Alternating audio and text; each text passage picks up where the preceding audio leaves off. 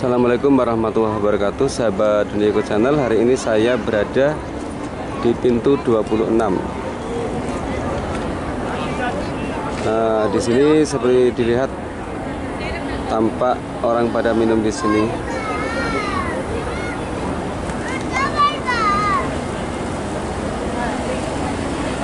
Perlu diketahui bahwasanya minuman ini bukanlah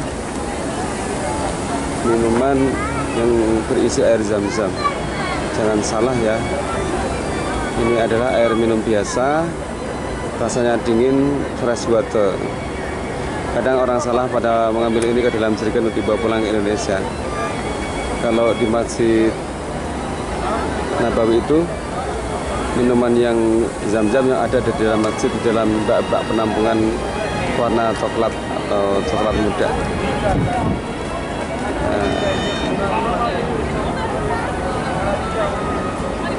Jadi jangan salah. Ini ya jangan salah. Ini adalah bukan zam biasanya dekat di tempat parkir dan WC sebelahnya.